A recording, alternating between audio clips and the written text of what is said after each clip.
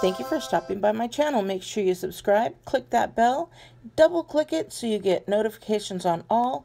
And while you're at it, make sure your phone has notifications turned on. Hi beauties, it's Jean Piersanti with Beauty and the Stamper. Happy Friday to you. And today we're going to be doing a card with the happiest of birthdays. We're going to be using this Wishing You a Happiest of Birthdays stamp. It's a cling stamp set.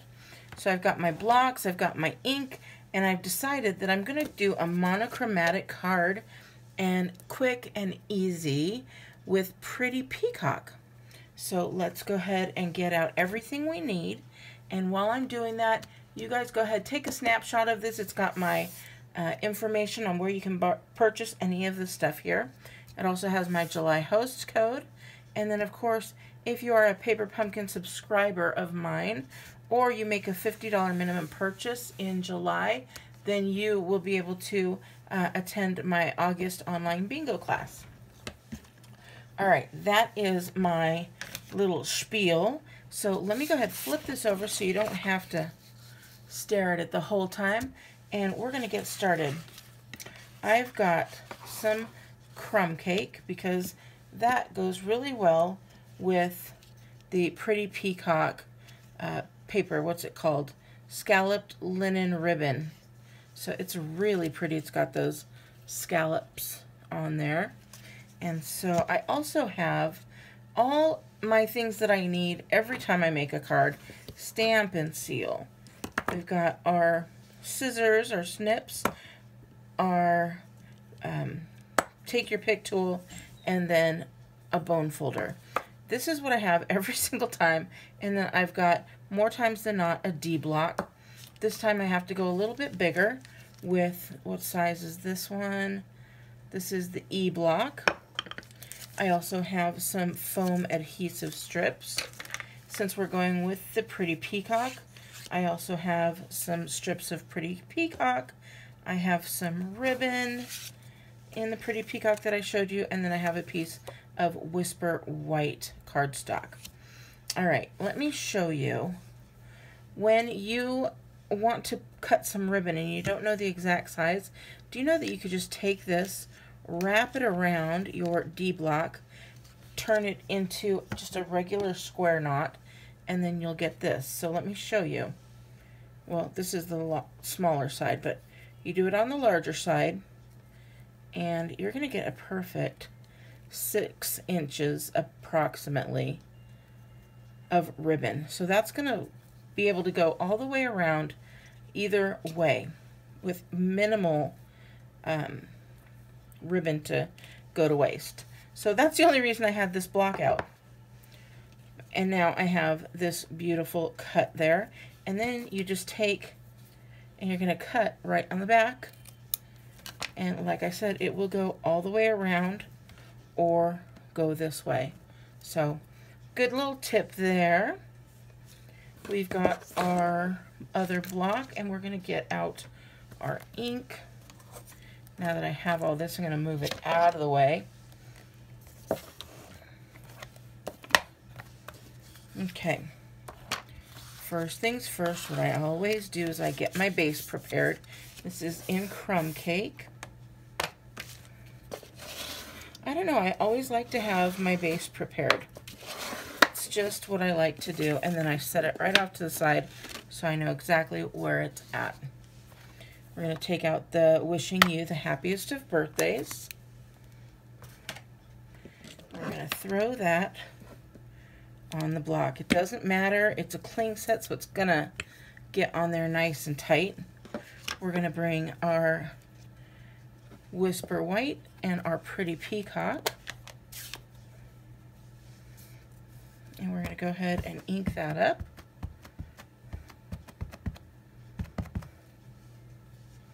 And we're just going to take that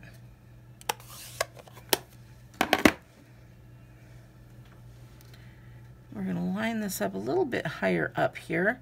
And reason being is I want to put that ribbon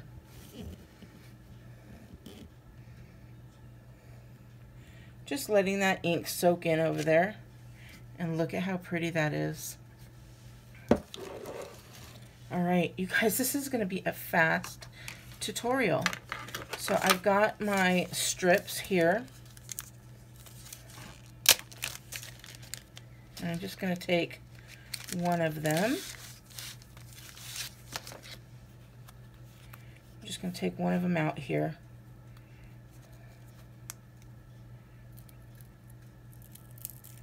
There we go. And I'm going to stick them on here.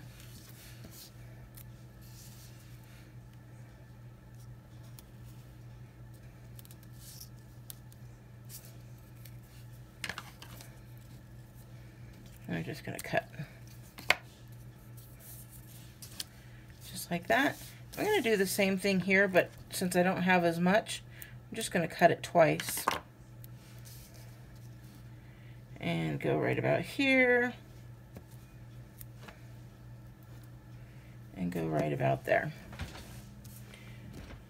All right, now we can build our card. Can you believe we're already building our card? I'm to get out some dimensionals, which again is always something that I have in my repertoire. And feel free to put as many as you like. Since it is long, we're going to put a number of them.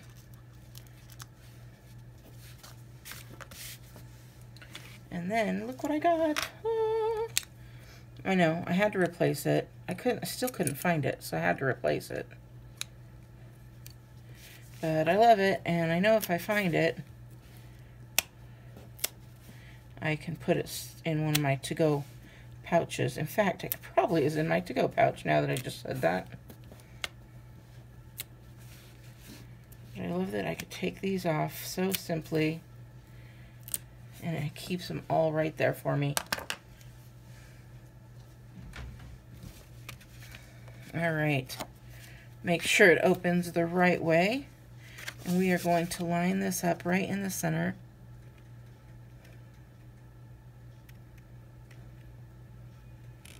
Just like that. Okay, now we're going to take these strips here and we're going to take the backings off. But I want to make sure that I have the ribbon in there as well because these strips are going to help hold that ribbon in place. So I'm getting my ribbon here and I am going to put just a tad of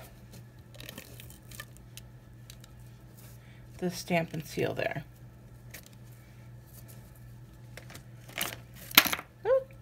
I got things falling everywhere.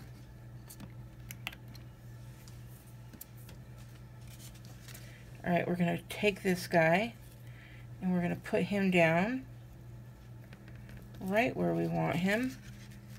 We're to hold these pieces back. And again, the reason being, everything's going to stick to me. But we're going to leave a little indentation there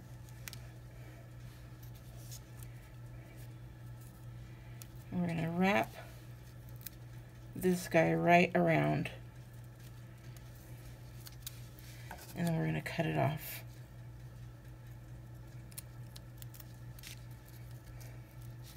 And there is more than enough sticky there to hold everything in place. So you'll see, I hope you can still see that.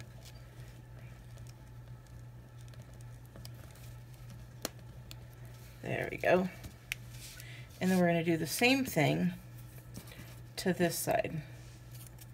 So we've removed that.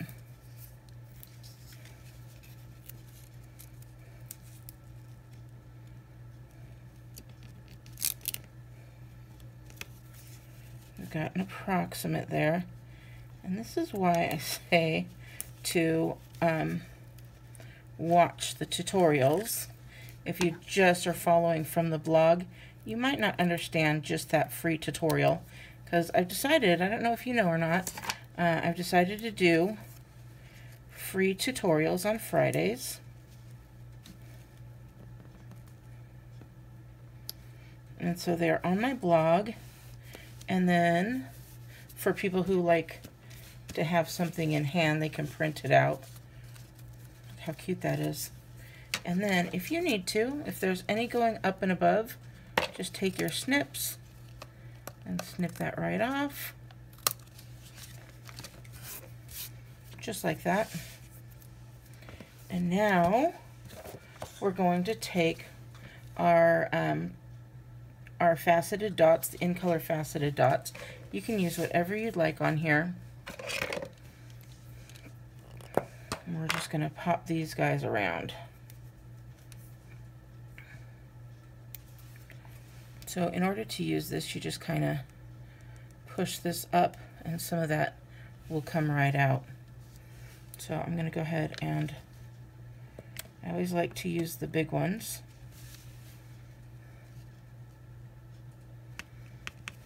And then alongside a big one, I like to use a small one.